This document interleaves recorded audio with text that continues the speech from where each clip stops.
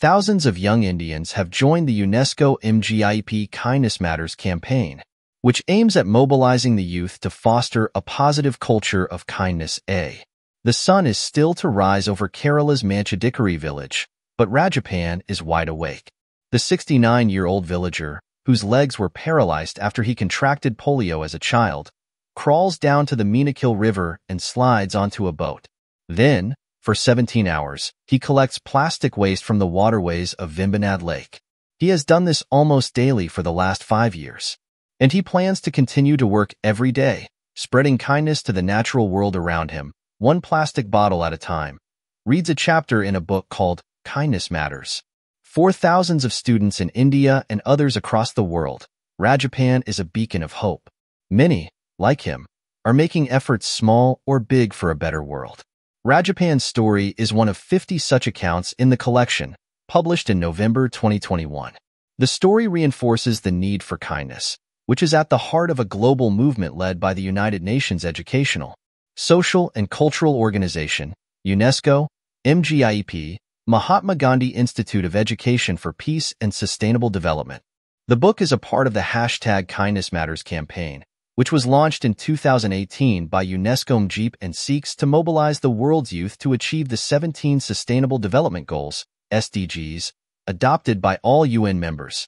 The SDGs include action to end poverty and hunger, for gender equality, quality education, and clean water and sanitation.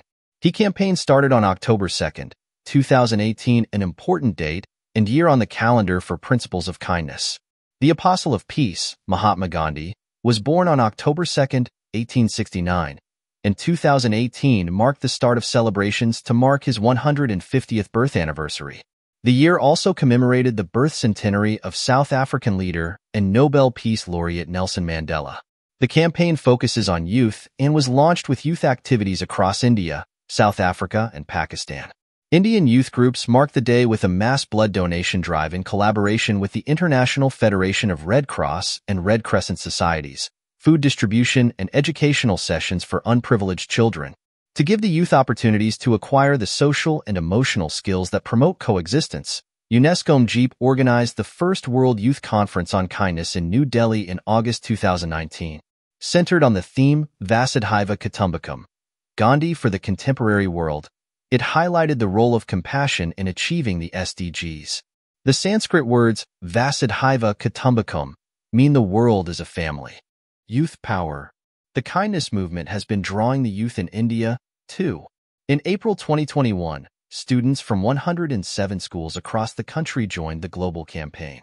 Since then, the schools have collected over 100,000 stories of kindness from students, teachers, parents, and alumni and submitted them to the UN.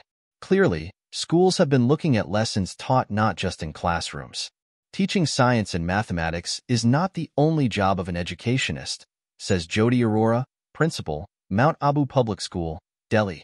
We have to empower students to build a caring and sharing society. How do we do this? By fostering an environment of kindness where everyone respects each other, she explains. From early 2020, the school has been organizing a slew of activities to inculcate kindness among students. To begin with, it found that most students associated kindness with donations. Educational online sessions were conducted to broaden this definition. Kindness can be anything from watering a tree to feeding a stray animal, Arora stresses.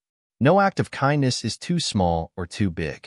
For Priya Tripathi, a student of grade 9, it translated into helping a friend who had met with a road accident and had to be taken to a hospital.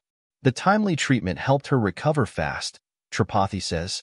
For Tanishka Johar, a grade 6 student at the same school, kindness is about regularly feeding street dogs in her neighborhood and planting saplings. These small acts of kindness give me a huge sense of achievement, she says. The school has set up the post of kindness leader in the student council. Just outside the school campus, it has erected a wall of kindness where anyone can place anything from warm clothes and utensils to pencil boxes for others to pick up. During daily attendance, students are asked to relate acts of kindness. The larger picture. The late South African Nobel laureate, Archbishop Desmond Tutu, had once said, do your little bit of good where you are. It's those little bits of good put together that overwhelm the world. This is the crux of the kindness campaign, which highlights the need for people to be kind to themselves, to those around them, and, effectively, to the world. By creating connections that strengthen the culture of kindness, the campaign provides young people with an empowering platform where they share stories of compassion and reflect how these can be used to address global challenges such as climate change, migration, diversity, and social inclusion. Many of the stories on the site, for instance, are about cleaning up one's immediate environment. Thanks for watching the video. Don't forget to subscribe and give the comment.